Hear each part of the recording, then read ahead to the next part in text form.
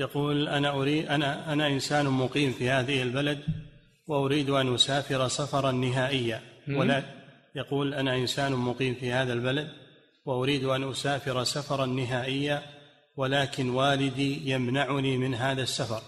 سؤاله هل لي أن أسافر دون رضاه؟